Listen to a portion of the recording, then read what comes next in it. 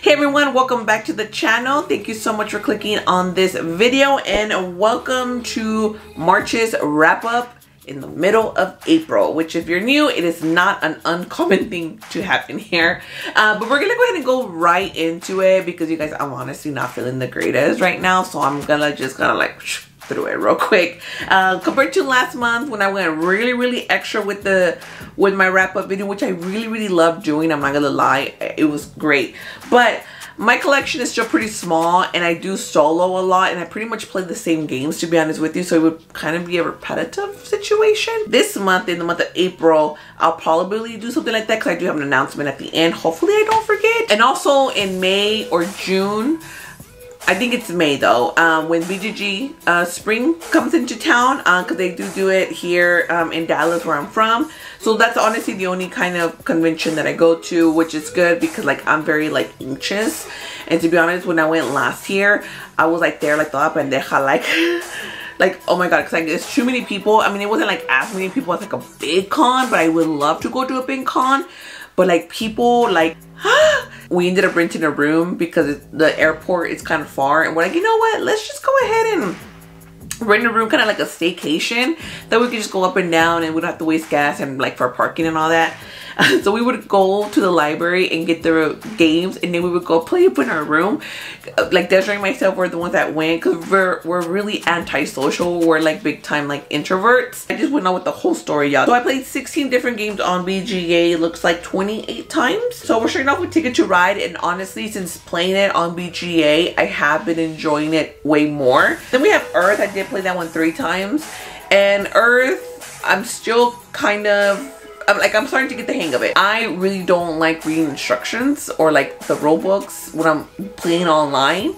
And so like I'll just go on there winging it and I'm like I'll pick it up and then I'll get mad when I don't know what the hell I'm doing and then I'm like okay fine I'll, I'll, I'll read myself. But I am actually really enjoying it. I don't really know if I want the game just because it looks like the game like the cards are like a lot of the stock footage which kind of reminds me like of Ark Nova, which I do love the game and I'm really enjoying the game, but I just don't like the stock footage cards. So I don't think I really want another game like that in my collection. So I think I'm okay with it just here. Um, then I also did uh, Can't Stop, Lost Ruins of um, Arnak, Obsession. I'm always on a game of Obsession. This, this is my BG handle if you guys want to play. Can't Stop, I just started playing that and I'm actually like really, really enjoyed it. I don't think it's one that I would want to add to the collection because it's a lot of fun, but I'm a packaging whore and I don't really like the way it looks to be honest with you. So I think I'll just stick to it like just on BGA. Uh, then we have Boop and I'm enjoying it also just on BGA. I don't think it's one that I'll add to the collection. Blenders, another one that I absolutely love. Parks as well. Um, then Sea Salt and pa uh, Paper. I've heard so many people talk about this game that they love it. I didn't like it. It wasn't for me. I, I don't get it. I also didn't. Um, I did play it twice. Wait, did I play it twice? No, I played it once. I didn't like it. I was like, no, I don't want to do it again. Then we did uh, Blood Rage and I quite enjoyed it. It's one that I've been wanting to add to the collection for a while. Uh, but I do want to play it some more here and learn it better because I was kind of also winging it. But I did look at a how-to video. Okay, then Azul, Wingspan, love Wingspan. Seven Wonders Architect, Draftosaurus, it's another cute game that I really love that I would only play on BGA, and I wouldn't uh, own it. And then I tried Viticulture for the first time. I didn't get it, y'all. I didn't get it. I do need to try it again. Uh, somebody's willing to play with me, maybe if it's just like a us two, just so you can kind of guide me through it, that would be awesome. And then Patchwork. Those are my BGA stats. Now if you guys are new, I am mainly a solo player, um, but there are some times that I am able to um, play like at two or three players. So if I did play at a higher count, I'll let you guys know. I did order some Button Shy games and I did get Arcane Bakery Clash. That is a two player only game. So obviously this is one that I did play with another person.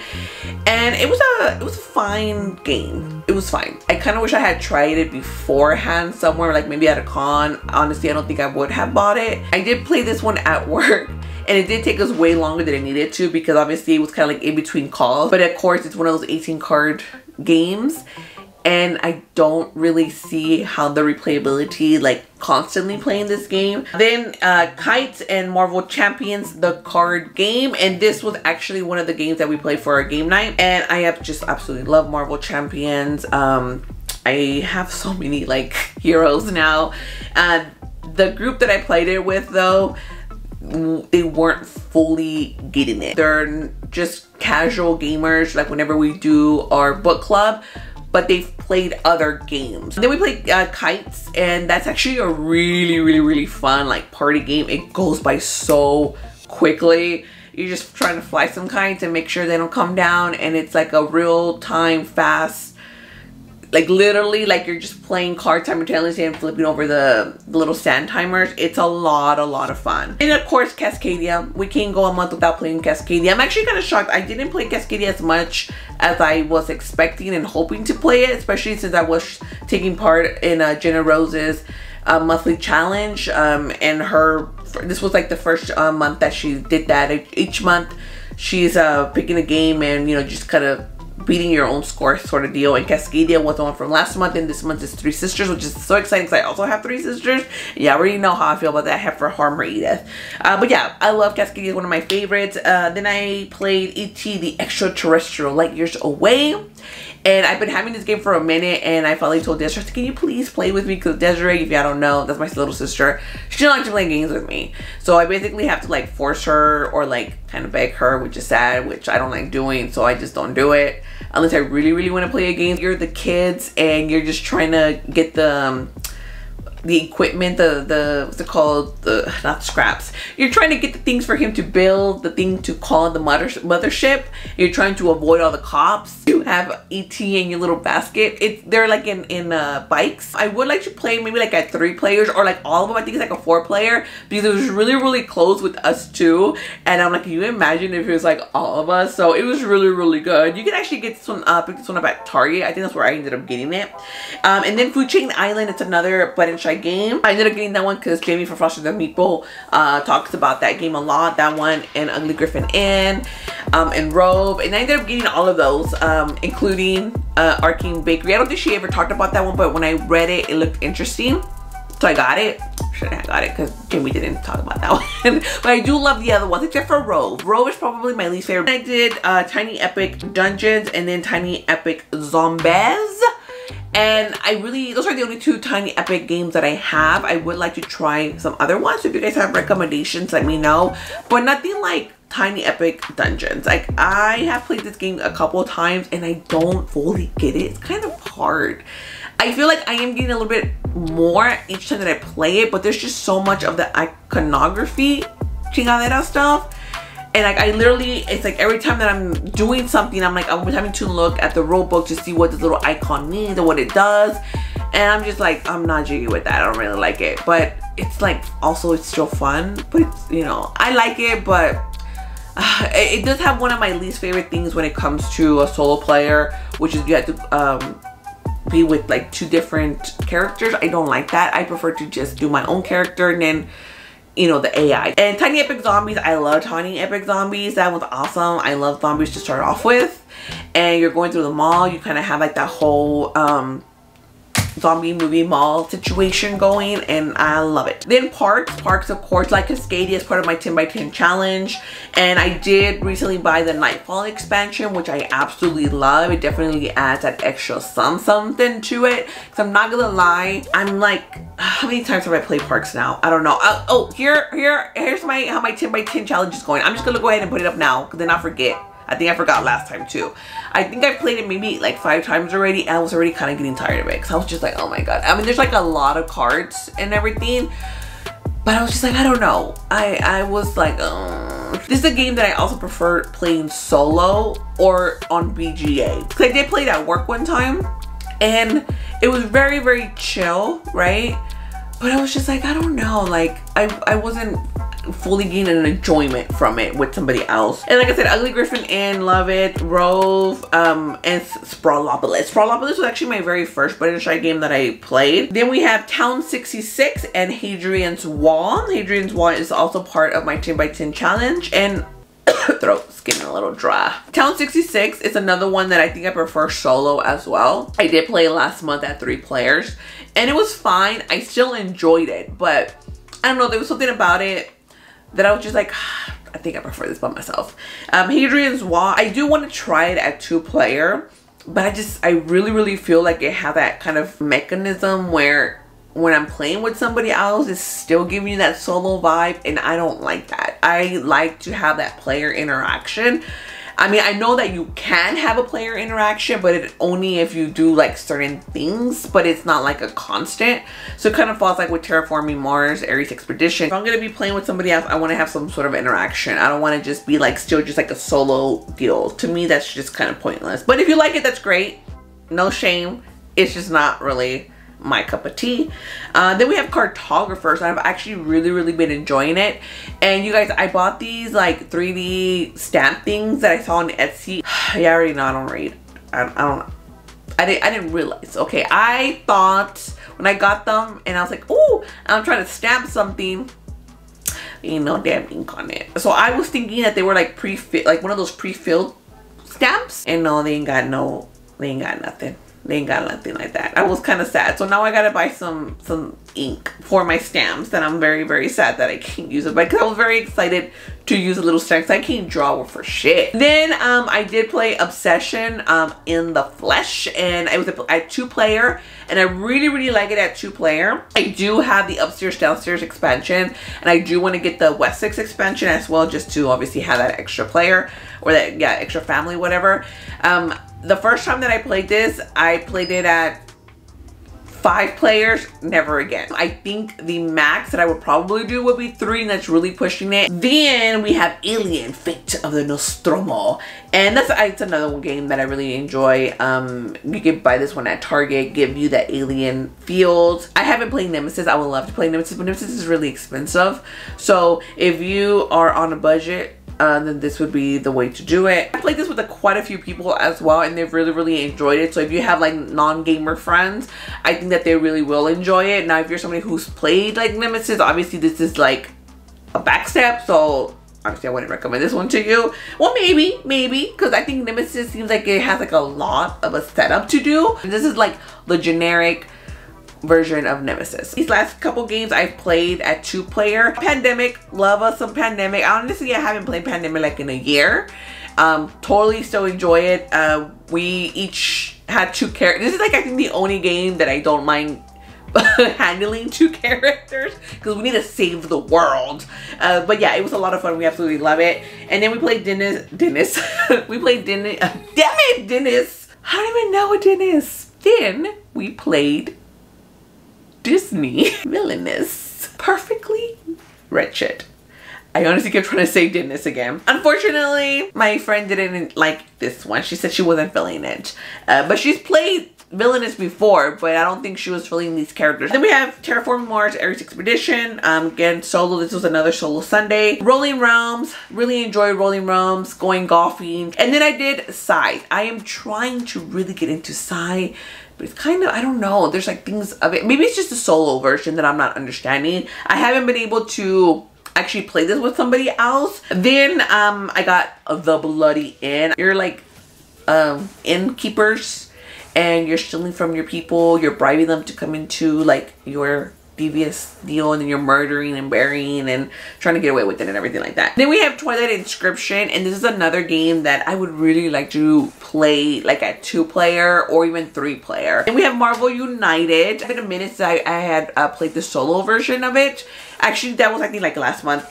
And I ended up finding that they did like a whole new solo version. Um, so it's like the shield version and then there's the other version. I don't remember. But the new version, when you are able to pick the special cards from like three other characters, I like that. Oh, definitely elevated the game for me solo wise. I don't want to go crazy like with Marvel Champions, but I would like to add maybe like one more box. So which one would you guys recommend? Because I only have the core one and I really, really love it. We're back to solo Sunday and my battery's about to run out. We got Dungeons, Dice and Danger. We got Sagrada. And then finally for like our book club, game night situation was Rear Window and the Quacks of Quedlinburg. And I love Quacks. This was the first time that we played Rear Window and it went perfectly with the book. It was talking about a stalker in the book. And this is the book that we uh, read that month. We're on book two this month. Man, that game was really, really good. Obviously, it depends on who you're playing with, but it's like a quicker version of Mysterium. And I honestly didn't think I was going to enjoy it as much as I did, but I did, you guys. All right, so my battery's about to run out. This is what I played in the month of March. Oh my God, I have my update. Let me change my battery. Yeah, see, I almost forgot. Hold up. All right, guys, for the announcement. Oh, oh before I forget, look, look at my shirt. Uh, gotta, you gotta sing it though. You gotta sing it. Okay, so last year I did a challenge 50 games one week. I'll go ahead and put it over here. You guys can check it out if you haven't. Now, at that time, I go, I am never doing this challenge again. It was so hard. At that time, I just had about a year, I think, in the hobby, but I wasn't playing as much as I am now. At that time, also, I wasn't doing solo games. I feel like I've learned from my mistakes last year and uh, we're gonna go for it. So 50 games one week, of course, Desiree and I both work, so we really are only gonna be playing during the week from probably like 6 to about 10 because I have a bedtime and then I, I, I can't, you know, like desvelarme, like not sleep and then be functional the next morning with coffee or not. Um, so this year, um, I have my 50 games. I'm still kind of tweaking stuff because I do have a couple games that I just bought. Like I just got Camel Up and I, I want to see about incorporating that game. Um, but I don't know because we've never played it. And that was one of the, the things that I was telling my sister. I go, this year we cannot play. In order for us to at least get closer to it, we can't have any like new games. We have to play games that we've played, um, that we know how to play rather, right? Because trying to have a new game within a challenge obviously like what the hell were we thinking? So if anything um maybe i'll just do camel up. It seems pretty simple so i and and i'll be looking at the how to and all that good stuff. But i'm gonna be doing a lot of solo gaming so i think that's gonna help out as well. And then we're gonna try to see about maybe having two games going on two separate tables. So you know we'll just kind of be like switching back and forth um to try to you know accomplish the goal. But ultimately I don't I don't know realistically I really don't think we would be able to do the 50 games but my goal goal like I would say we passed the goal if we play at least five games more than we did last year. I don't remember what last year's thing was. I know we did pass the halfway mark, so at least we were content with that. But I do want to play at least five games more than what we did last year. But obviously, it would be like a super mega win if we get did all 50 and then I would love to win at least five games personally me five games uh, not including cooperative and not like any of the solo modes usually with the solo modes it's like a beat your own score but no like when we're competitively playing I would love to play at least five games and that's kind of like my goal mega goal woohoo would be 10 games. Like I said I suck at games. I lose all the time. So five games is a, is a lot. And also we're gonna be kind of starting off with the bigger games and they kind of work our our way um, down with the smaller games. And last year we, we did it opposite, which again, big mistake. We're like, well, we're kind of ease our way into the big games and no we definitely should have started with the big boys because by the end of it we were done and we were over everything and we're just like oh Okay. Oh, and this year we're starting on a Sunday and ending on a Saturday. Last year we started on a Monday and then on a Sunday, which was again huge mistake because gave me really like no opportunity to get ready for work the next day, which was like, ah. So this way, not only will I have time to relax, but I have time to get my shit together for work. The challenge will be starting on, what day did I say? Okay, so, oh my God, what day are we on? On the So next week, next week on the 17th no on the 16th we're going from the 16th through the 22nd so next week is when we'll be doing the challenge. And then uh, sometime during the next week is when I'll be uploading that video as well. And uh, yeah I'm, I'm, I'm excited. And then I'm just like ah. Like what am I doing? Why am I putting myself through this? Because like I said it was hell oh my god my back was hurting so much maybe i can like wager and see how many games we'll actually get through i have bigger uh, better expectations because like i said it's a whole other year that we have more experience with and I'm soloing now and I've played more games now. And honestly, I did that challenge last year because I wanted to play everything in my collection. I of course had like my Shelf of Shame and I was like, oh, okay. And I honestly just had 50 games at that time last year. I think that's pretty much how things are going to be going for the challenge. Uh, again, we'll see how well I do. I think that's kind of like the update of a challenge video that's coming like round two we'll see we'll see what happens there i'm excited though i am excited um but like i said as long as we bypass what we did last year by five games i will consider this challenge a win. All right guys uh, that is it for me today. Thank you so much for watching. If you guys are new i am mainly a movie channel so hopefully i could be like your movie person for your movie watching needs and like show needs. I don't do as many show uh, reviews, but I do some, uh, but mainly movies. Uh, so hopefully I can be a light out for you. Uh, if you haven't already, don't forget to give this video a like, comment, share, subscribe, all that good stuff. Let me know what you guys watch. Did we watch the same things? Did we watch, damn, I'm so used to saying that with my, with my other videos. Did we play any of the same things? Uh, again, this is my BGA um, handle deal. Um, friend request me. That's it for me today. Thank you so much for watching us. Till next time, I'll see you guys in concessions. Bye.